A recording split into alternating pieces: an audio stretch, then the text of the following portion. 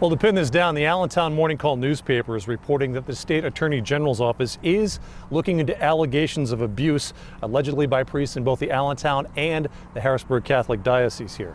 Reportedly, right now, evidence is being presented by attorneys from the state attorney general's office to a grand jury that is meeting in Pittsburgh. However, this morning, a spokesperson for the state attorney general's office told me that it can neither confirm nor deny the existence of such a grand jury. However, a spokesperson, Lori, as you mentioned, for the Harrisburg Catholic Diocese, Diocese confirms that it has been served with at least one subpoena requesting information.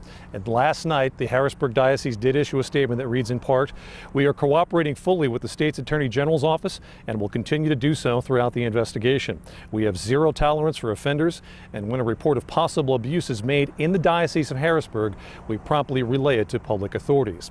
Now, earlier this year, you may recall the state Attorney General's office charged three Franciscan friars with criminal, I'm sorry, child endangerment and criminal conspiracy. That again in the Allentown, uh, Johnstown Diocese. Afterward, a tip line was set up by the State Attorney General's office to report potential abuse by uh, church officials. It's possible that calls that have been coming into that tip line may have led to this grand jury investigation if it in fact is taking place.